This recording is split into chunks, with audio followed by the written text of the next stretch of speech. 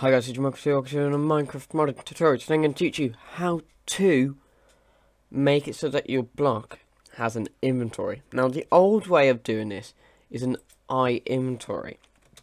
But we're going to do a new way using the Forge capabilities. So we're going to make it implement an I capability provider. Um, and we're going to actually make a new capability.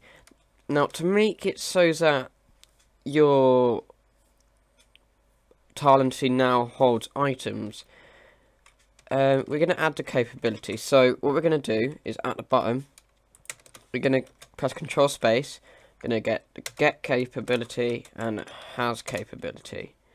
So the has capability says if it's capable of doing something. So if capability is equal to capability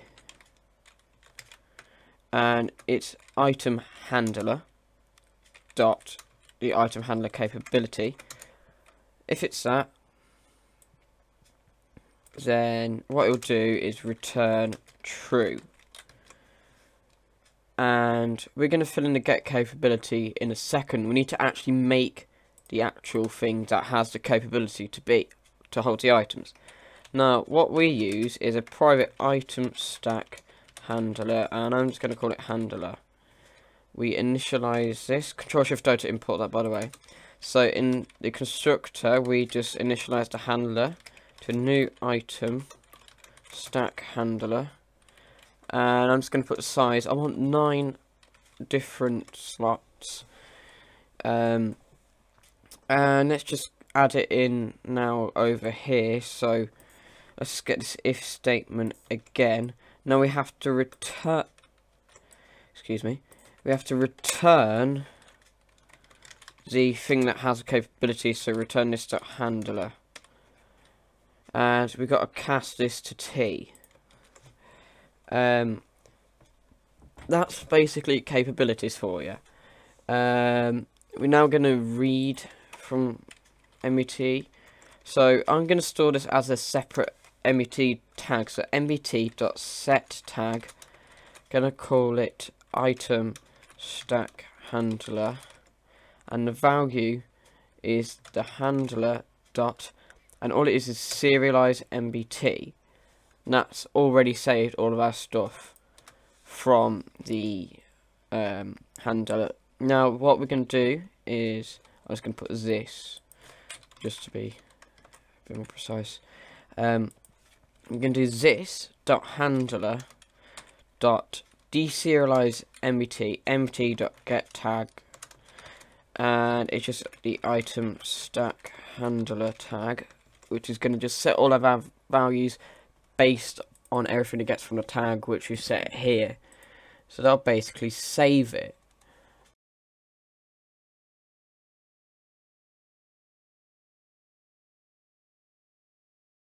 Now, right at the bottom, where we did the tile entity, we're going to add a break block method.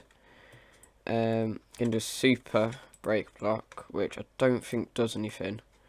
No, just removes the tile entity. So we want to do it before we remove the tile entity, um, I believe. And then all we want to do is we want to get the item handler so that we can actually take like drop the items that are in it. So I item handler. And that's the handler. Is equal to and need to just get the tile entity. So it's obviously going to be our tile entity. So tile entity block breaker te is equal to world uh, I'm just going to change that to world. World dot get tile entity at the parse that's going to want us to cast this now to that tile entity and all it is is te get capability. And its capability item handler item handler capability. The facing is just going to be null. Now what we can do is for int slot equals zero slot is smaller than handler get slots. Take one. Uh, the reason why we take one is because counting starts at zero, so slots would be just how many there is, so just take one. Slot plus plus. Item stack. Stack is equal to handler get stack. Get stack in slot slot. And all we want to do is inventory helper dot uh, spawn item stack in the world at the parse.get x, parse.get y, and parse.get z, and the stack respawn is that stack. So basically that'll just drop all of our items. So we should be able to run the game now, and the items should now drop. Okay, so, game is loaded up. Should be able to go inside of our test world again, and what we should be able to see is that we can break this now. So this is still pumping in items.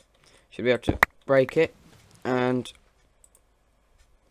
that had a lot of items in. Wow. So let's go get that block breaker again. Um, now it shouldn't matter which type of block breaker it is, it, both of them should work. Oh, I think it's watching everything. So then that's now going to hold it. Put hopper underneath, it's collecting all the items. I put these items back in. Then I'll just go straight through the hopper. On the bottom. So, we've now got a tile entity, guys. So, thank you guys for watching. Don't forget to like, comment, and subscribe. I am out.